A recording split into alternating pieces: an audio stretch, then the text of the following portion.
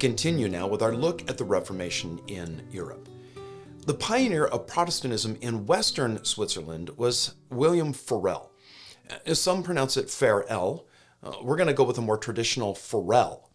Farel began as an itinerant evangelist, always in motion. He was tireless, full of faith, and, well, fire. He was as bold as Luther, but quite frankly more radical. He lacked Luther's genius, He's called the Elijah of the French Reformation and the scourge of priests. Once a devoted Roman Catholic who studied under pro reform professors at the University of Paris, Farel became a loyal Protestant, but able to see only what was wrong with the Catholicism of his past. He loathed the Pope, branding him an Antichrist, as did many Protestants of that time. Now, of course, the popes returned the favor and labeled Reformation leaders with the same title. Farel claimed that all the statues, pictures, relics found in Roman churches were heathen idols that ought to be destroyed. Farel was never officially ordained, but he thought of himself as divinely called, like a prophet of old, to break down idolatry and to clear the way for the worship of God according to God's word. He was a born fighter, and echoing Jesus, said that he came not to bring peace but a sword. He contended with priests who did carry firearms and clubs under their frocks and fought them with the spiritual sword of Scripture. Once he was fired at, but the gun blew up. Turning to the man who'd shot at him, he said, quote, I'm not afraid of your shots, unquote. He never used violence himself, except in the verbal salvos that he was fond of firing at his critics. Farel was never discouraged or dissuaded by opposition. On the contrary, persecution kind of stimulated him to even greater labor. His outward appearance gave no hint to his indomitable will. He was short and frail. His pale complexion was often sunburnt. He sported a wild red beard. What his appearance lacked, his voice made up for. He used both gestures and language that commanded attention and produced conviction on the part of his hearers. His contemporaries referred to the thunder of his eloquence and the earnestness of his moving prayers. His sermons were extemporaneous, that is, he didn't sit down to prepare a message. He wasn't one to deliver a three point sermon where each point began with the same letter. No, their power lay in their delivery. Sadly, all that we can say is what others reported about his preaching. None of his messages were ever preserved because, well, he never wrote them down. As is often the case, his strength ended up being a weakness, maybe a fatal weakness. His lack of moderation and discretion unburdened him from, well, second guessing himself. He spoke his mind without the need to put a fine point on everything. In a word, he lacked tact. He didn't care if what he said upset people. This outspokenness repeatedly got him into trouble, not only with Roman Catholics, but with his Protestant peers. Imagine two surgeons. They're equally skilled at correcting internal problems. One carefully cuts to make the healing of the incision site leave the smallest scar. And she does three surgeries a day. The other surgeon is less concerned with that. He wants to get in there and get it done.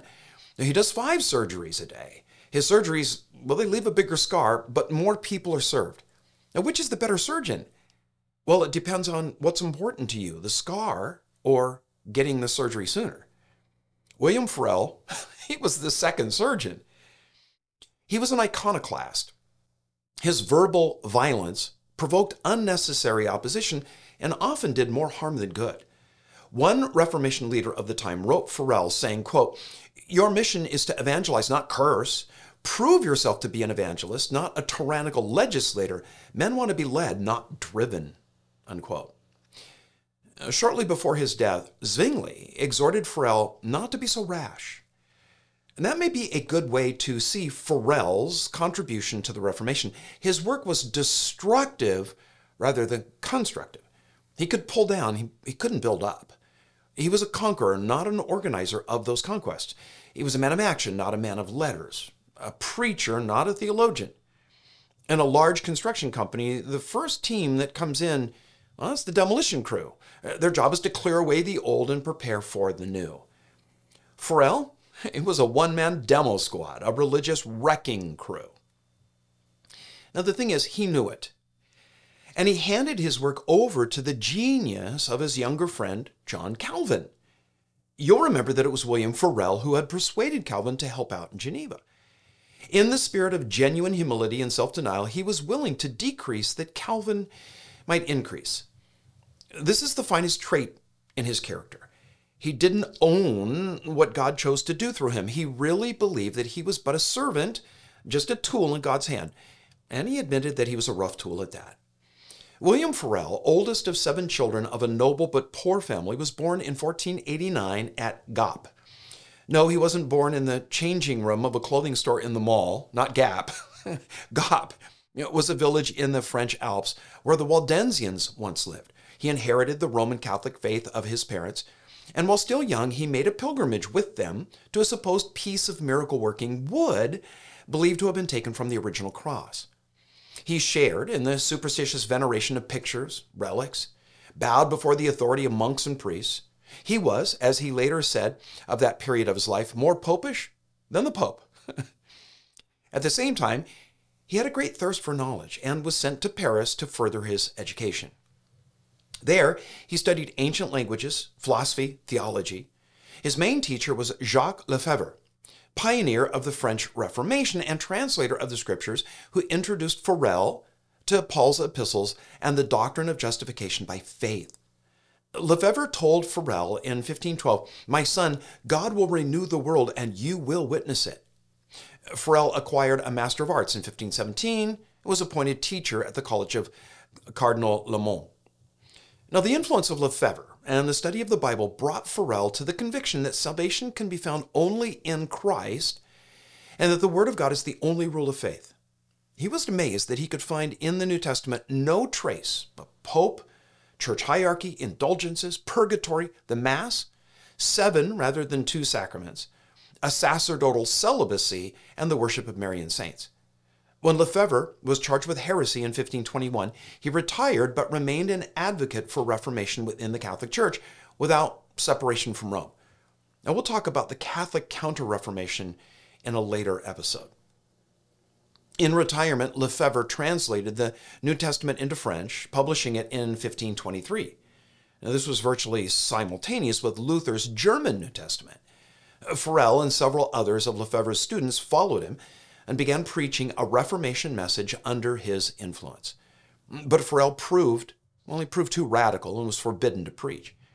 He returned to his hometown and, well, he made some converts there, including four of his brothers, but the people found his doctrine strange and they drove him away.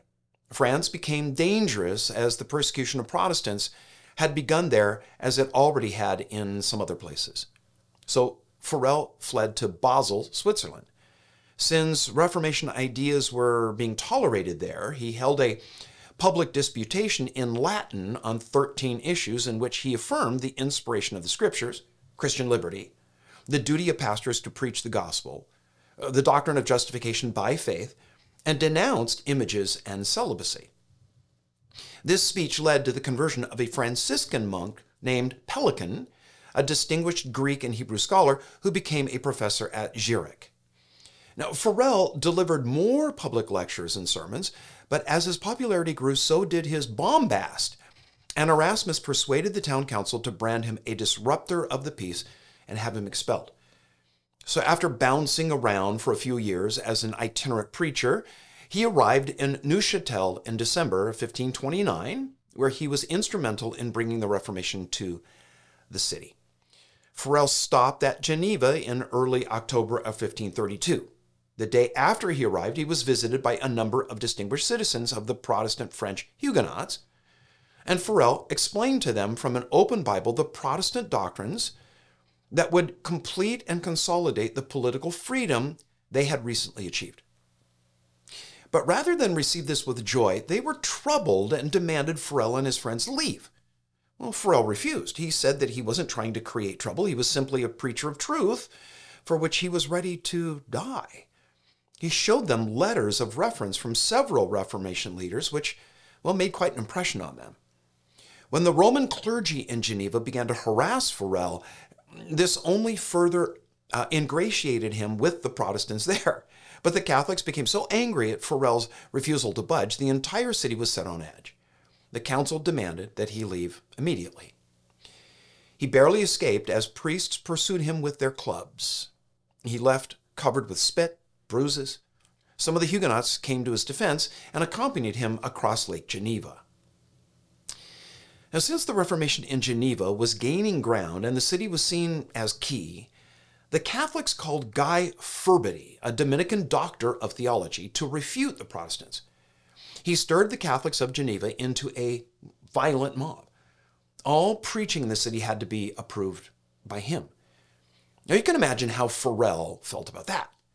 He returned with a guarantee of protection from the city of Bern and held another public disputation with Furbity at the end of January of 1534.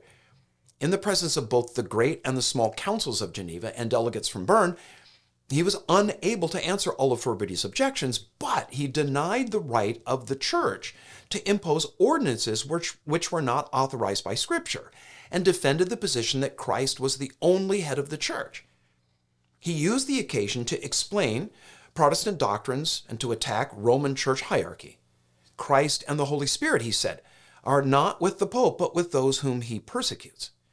The disputation lasted several days and ended in a, well, partial victory for Farel. Unable to argue from the scriptures, Furbity confessed, quote, What I preach, I cannot prove from the Bible. I have learned it from the Summa of St. Thomas, unquote, meaning, of course, Thomas Aquinas. Farel continued to preach in private homes as tension grew between the Protestants and the Catholics. He was the eye of the storm.